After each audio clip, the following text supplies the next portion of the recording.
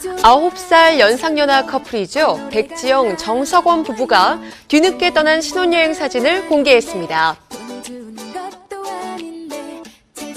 청바지에 티셔츠, 편안한 차림의 두 사람, 대자연을 배경으로 발랄한 장면을 연출했는데요.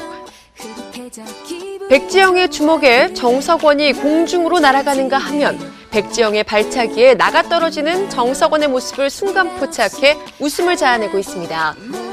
특히 두 사람은 공중부양 장면까지 코믹한 장면을 연출했는데요.